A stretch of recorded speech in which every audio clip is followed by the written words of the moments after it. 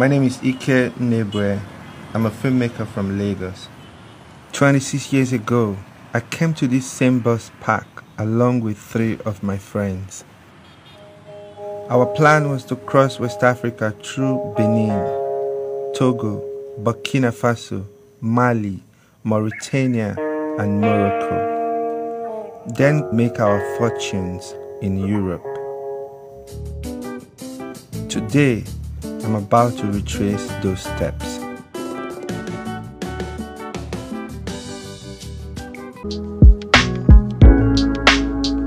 I still remember how it felt to leave the familiar, the excitement as we took the plunge into the unknown. We also felt a bit of apprehension.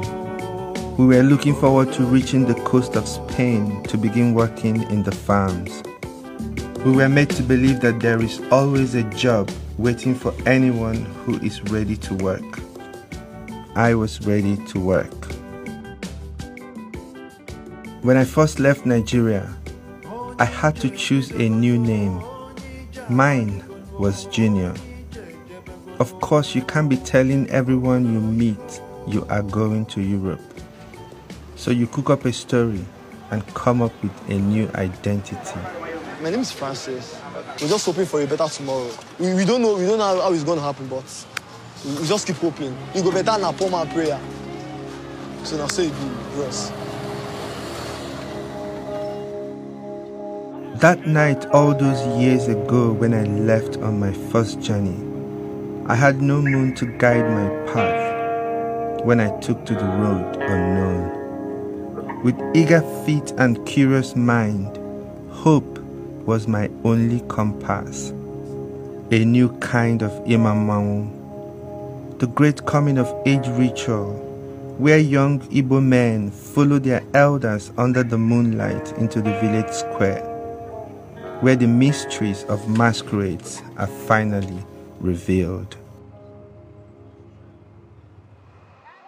The road is not only long, it is dangerous. Stories of robberies, beatings, and even human trafficking are common. An argument breaks out on the side of the road, fears over why a group of girls are making this journey. you dropping guests that that's how you carry my house there. Why am I here? I just You are just shouting. I'm a shouting. You are just shouting. That's in your mind they tell you me I know. Now, listen to me. If you reach there, You you will go know. present, you present your office.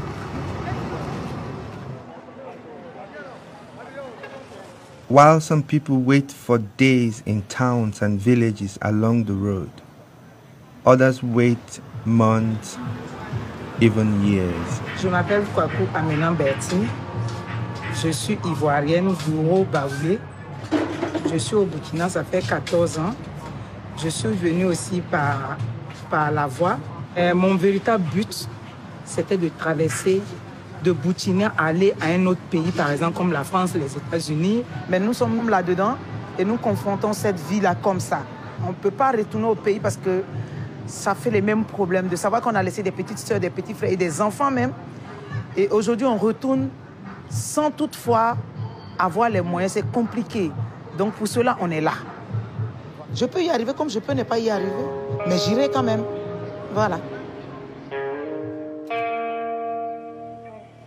These women traveling through these perilous roads keep hope as their constant companion. That hope is like the moon, sometimes full in its abundance and often waning to a mere nothing.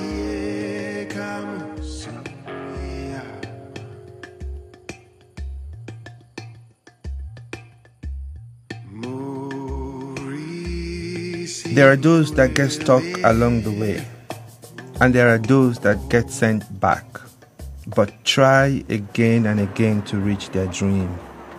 Some have harrowing tales. My name is Anita. I was lucky I wasn't raped. I was lucky, but some ladies there, they told me they raped them. I just thank God that they did not rape me. I passed through the stress. We trekked to Morocco. It was one day journey. It was bush, mountain. The policemen there, they returned us back to Mali. When they saw us, their dog was chasing us. We tried to run, but we can't run because we were scared that the dog is going to bite us.